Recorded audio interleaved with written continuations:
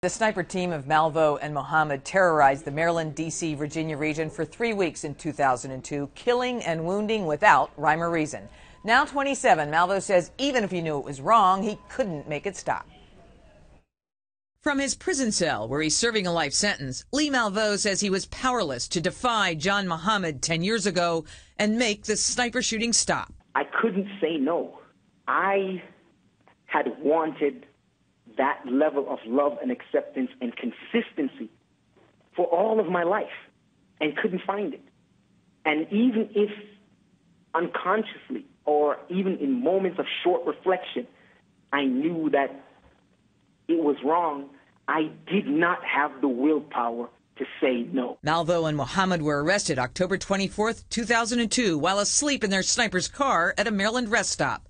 Malvo says his only concern at that time was to protect Muhammad. He cared not about the consequence. No. I mean, because at that at that point in time, to a certain extent, I was already dead. And that death per se is not what I feared. What I feared the most. I feared letting him down more than I feared death. Malvo now claims he was abused by Muhammad sexually. Earlier on, around the age of six, I was I was, I was five years old. I would say I was sexually abused by um, babysitter, and then later on by relatives when I was eight, nine years old, and then for the entire period when I was almost 15 until I got arrested. I was sexually abused by John Muhammad. Malvo says he has forgiven himself. What he was asked does he say to the families of the victims? I would share with them what I've used for myself, what has worked for me.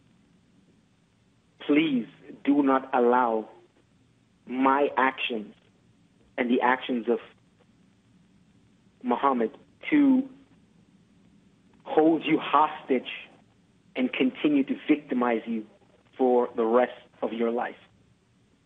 It, if, if you give those images and thoughts that power, it will continue to inflict that suffering over and over and over and over and over again. At, you, do not give me or him that much power.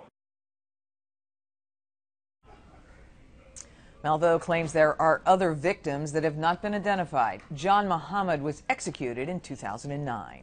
Reporting live tonight from the newsroom, I'm Jane Miller, WBAL TV 11 News.